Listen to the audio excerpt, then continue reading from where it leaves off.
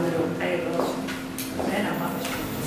kurumlarımızla ne kadar e, yakın diyalog kurabilirsek, ne kadar yüz yüze görüşmeler yapabilirsek, e, devlet için, halkımız için işbirliği yapma konusunda o kadar e, iyi adımlar atabiliriz diye düşünüyorum.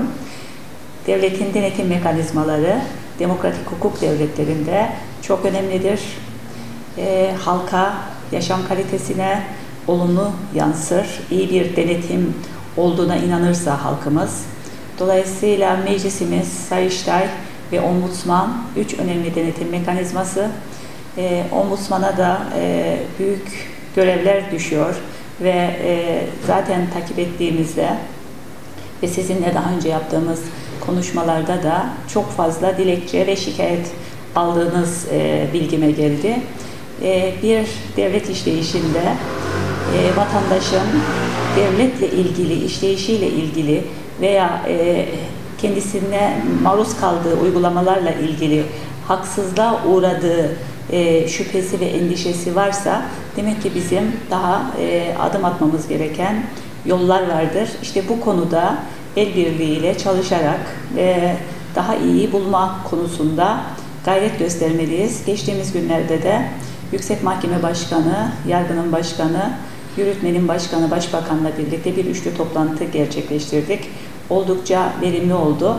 Bugün bu ziyaretimde de e, sizinle e, sizin çalışmalarınızla ilgili ve e, karşılıklı yapabilecek önerilerimizle ilgili konuşmak, görüş alışverişinde bulunmak önemlidir.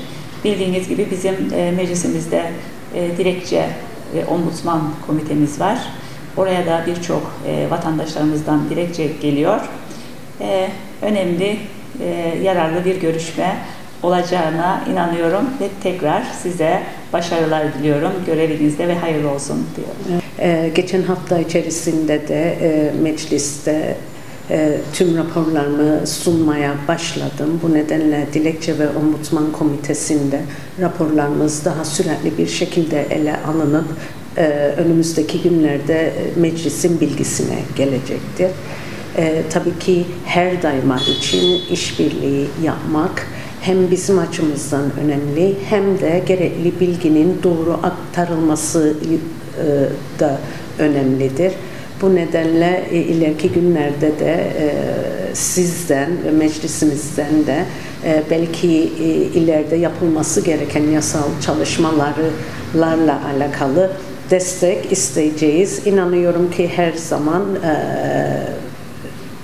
mevcut çalışmalarımızı takip ettiğinden e, bize gerekli desteği ve olanağı da tanıyacaksınız ve bundan da eminim e, hem biz hem toplum ciddi şekilde yararlanacaktır.